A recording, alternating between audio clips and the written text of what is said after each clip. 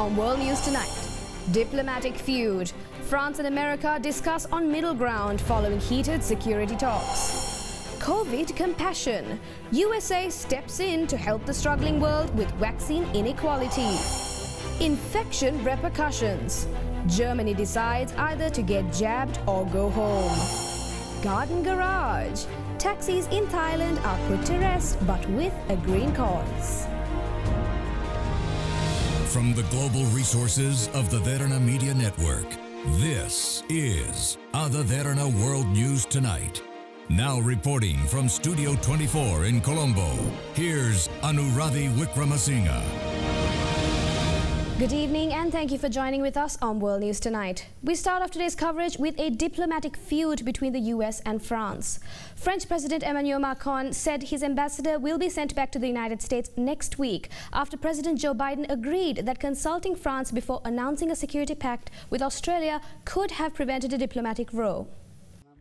Following last week's sudden and stunning rift over a global arms deal, France and the US are working to restore normal relations. The office of French President Emmanuel Macron said on Wednesday he would send his ambassador back to Washington after a phone call with U.S. President Joe Biden. Hey, Boris. Well, good morning from Australia. the French cried foul last week after news broke that the U.S. and U.K. had secretly negotiated a deal to sell nuclear submarines to Australia. As a result, Australia nixed a $40 billion deal to buy warships from France. In dramatic fashion, Macron recalled his envoys from Washington and Canberra. The episode marked a rare diplomatic rebuke between close military allies. Not all saw the French outcry as proportionate. On Wednesday, UK Prime Minister Boris Johnson told his French counterparts, in French, to quote, get a grip and give me a break. I just think it's, it's, it's time for some of our dearest friends around the world to, you know, prenez un grip uh, about all this, uh, and donnez-moi un break. Uh, because this is uh, fundamentally a, a, a great step forward for global security. Following Wednesday's phone call between Macron and Biden, the French president's office said the leaders agreed to launch in depth consultations to rebuild trust.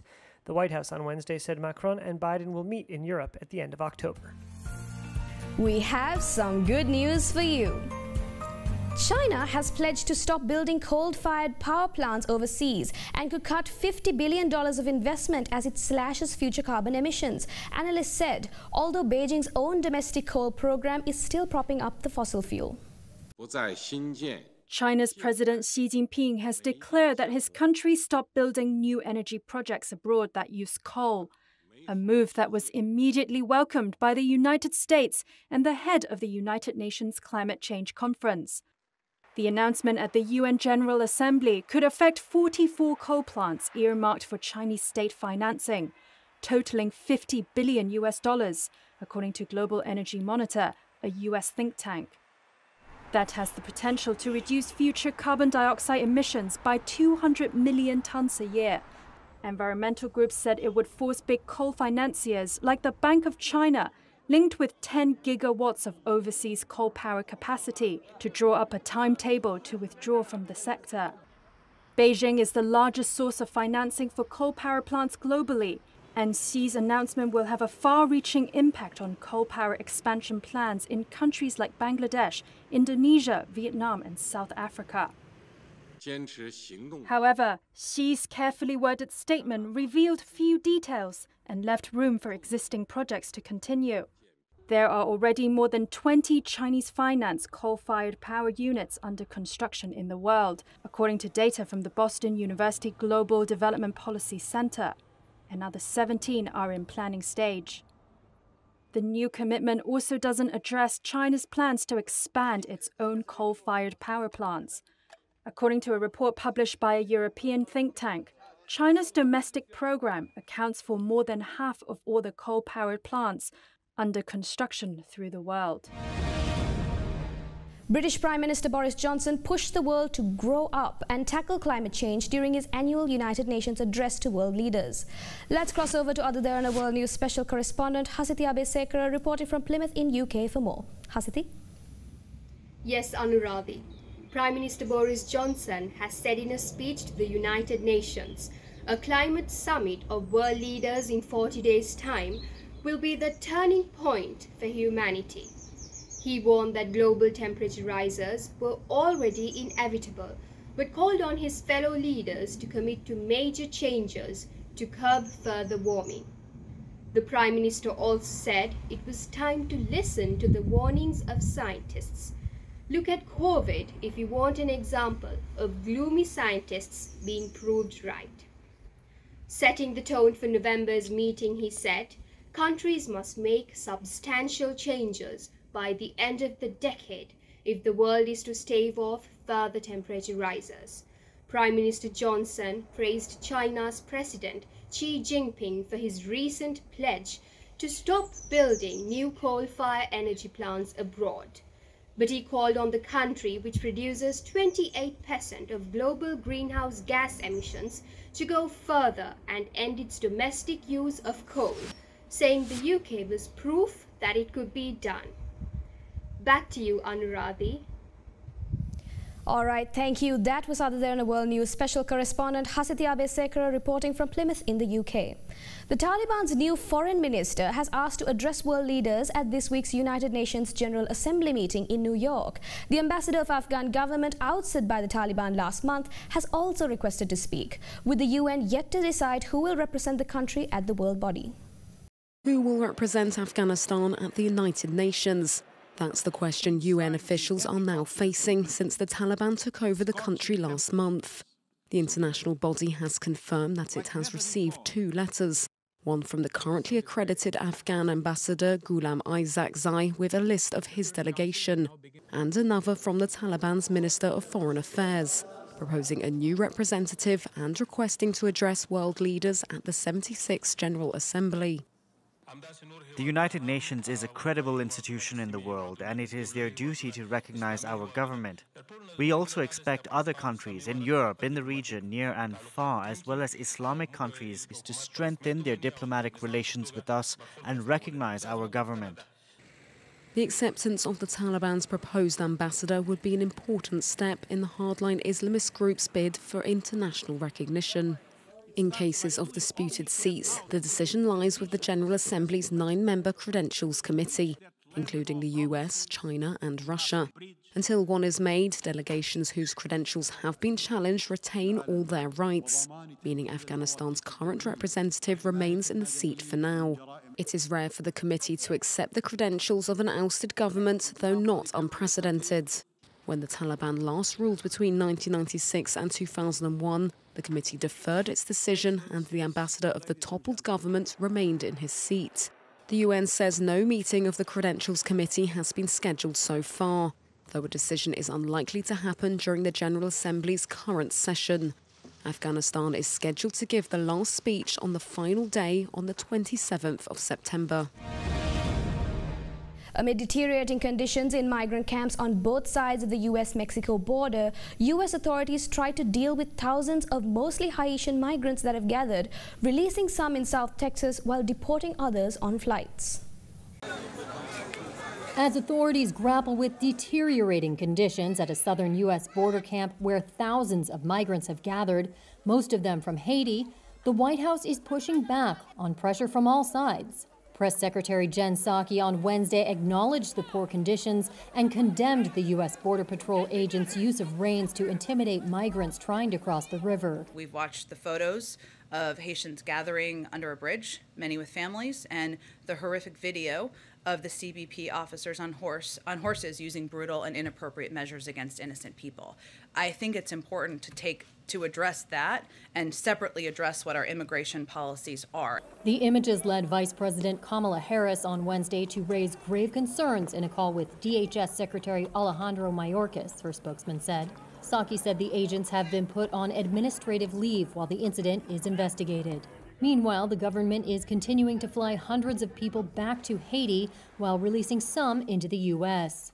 Psaki defended the Biden administration's use of a sweeping Trump era public health order used to expel migrants, known as Title 42. Title 42 is not an immigration policy. It is a it is a health authority because we're in the middle of a pandemic. U.S. politicians from both parties have criticized Biden's handling of the situation.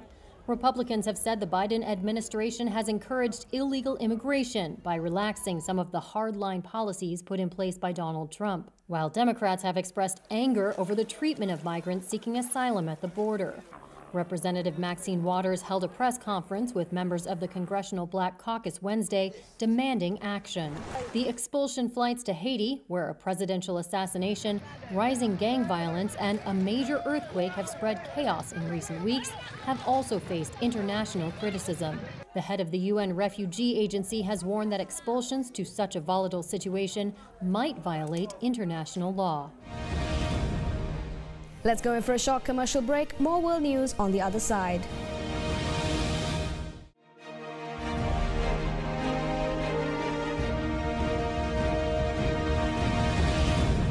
Welcome back. Moving on with yet another election update.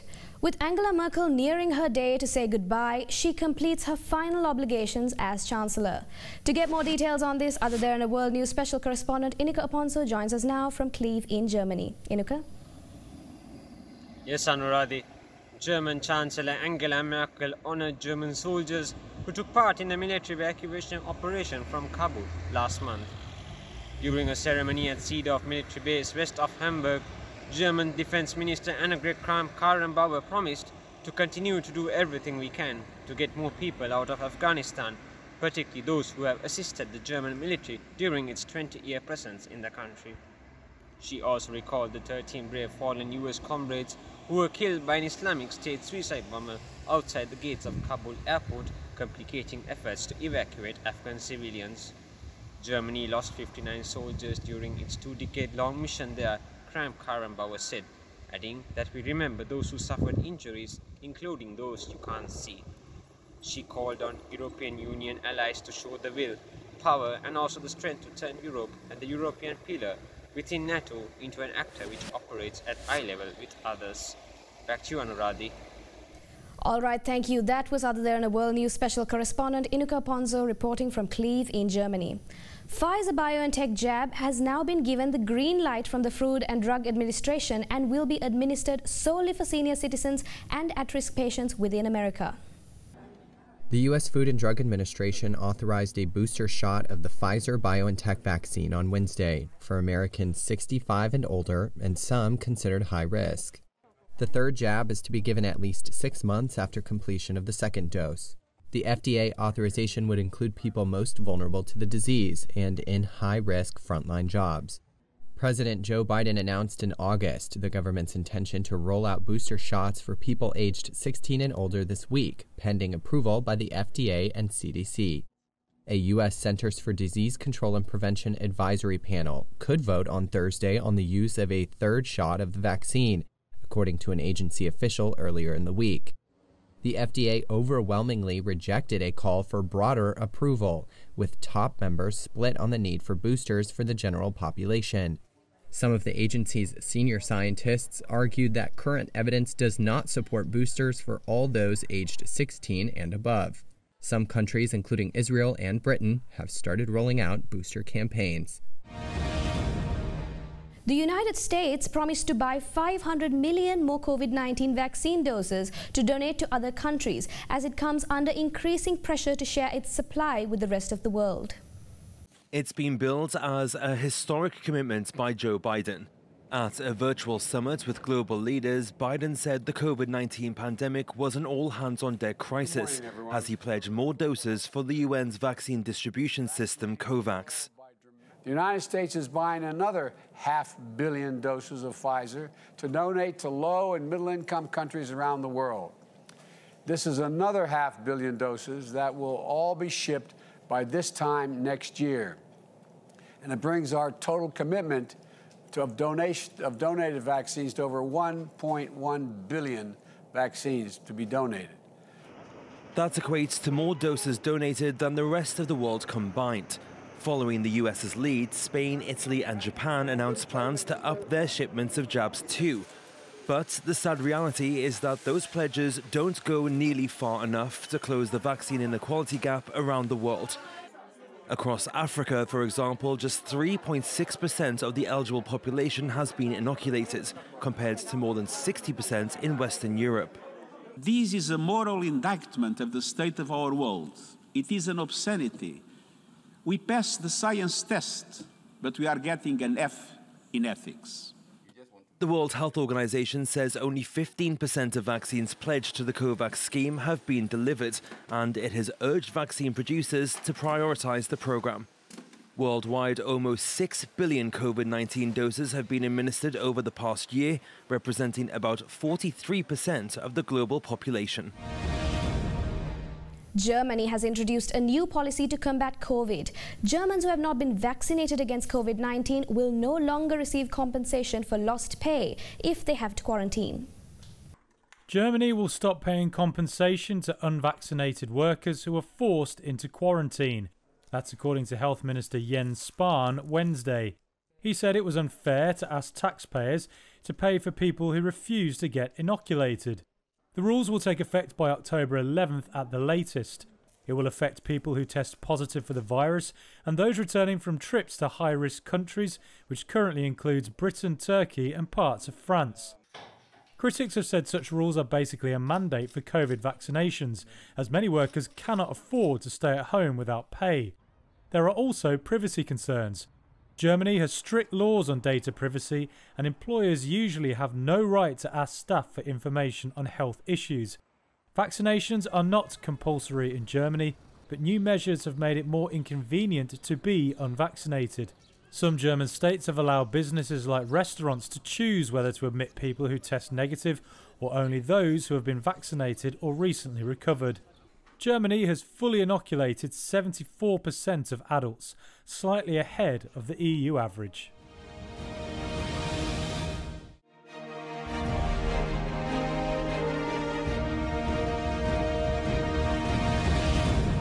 Welcome back. And now for more world news, let's take you around the world in a minute. Tango and soccer fans got together to pay tribute to Argentine soccer player Diego Maradona at the Tango World Cup in Buenos Aires. The ensemble, made up of 20 artists, included renowned singer Kakuza Castiello. Jewish worshippers wearing face masks prayed at the Western Wall on Sunday at a special priestly blessing during the holiday of Passover, an event usually attended by thousands. The U.S. House Armed Services Committee says North Korea is continuing to publicly announce plans to develop weapons that threaten the U.S. and its allies. According to U.S. National Defense Authorization Act, the regime possesses a relatively modest nuclear arsenal compared to Russia and China. A series of attacks against the Taliban have taken place in Afghanistan, resulting in the deaths of Taliban members as well as civilians. Meanwhile, Afghans continue to seek asylum outside the country. Taiwan has submitted an application to join the Comprehensive and Progressive Agreement for Trans-Pacific Partnership, a free trade deal designed to liberalize trade and investment among Pacific Rim economies.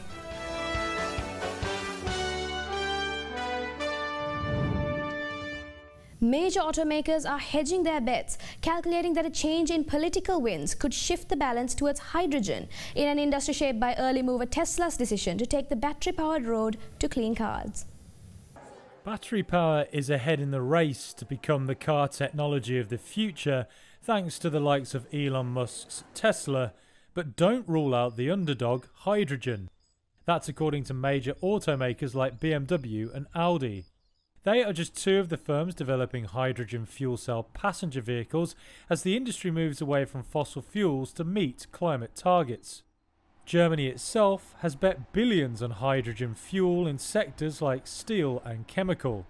BMW is hydrogen's biggest supporter among German carmakers and aims for a mass market model to be ready in around 2030. Its rivals are also investing. Volkswagen's Audi brand said it had put together a team of more than 100 mechanics and engineers who were researching hydrogen fuel cells for the whole VW group. Hydrogen is also seen as a sure bet by top truck makers like Daimler and Volvo, who see batteries as too heavy for long distance commercial vehicles. For now, though, fuel cell technology is expensive, making the production of mass market cars a challenge. The cells, where hydrogen passes through a catalyst to produce electricity, are complex and contain expensive materials. VW Group CEO Herbert Diess has tweeted that it isn't the solution to climate change. But Toyota takes a different view. It already has a fuel cell car on sale, though it remains a niche market. European General Manager Stephen Herbst says both battery electric cars and hydrogen could progress side by side. Herbst is part of the Hydrogen Council business group, which forecasts that hydrogen will power more than 400 million cars by 2050. And finally tonight, with the demand for taxis drying up in Thailand and thousands of drivers leaving town, one Bangkok cab company has turned its vehicles into mini vegetable gardens, hoping to take the edge off the coronavirus crunch. The taxi cooperative has taken hundreds of cars off the road in the past year amid a slowing economy caused by months of lockdown to prevent the spread of COVID-19, which has left many drivers with insufficient income to pay lease on their vehicles. The cooperative grows vegetables on the roofs and bonnets of 300 of the disused cabs, providing its drivers and members with food to share while sending a message to the government to do more help with the hardship. An administrator within the company said though the gardens keep people occupied, they are only temporary fix and to a certain extent it has helped with lessening stress and also suggested that the government should step in to help them. And that's all the news we have for you tonight. Suzanne Shanali will join you again tomorrow with another edition of World News. I'm Anuradhi Wickramasinghe. Until then, stay safe and have a great night.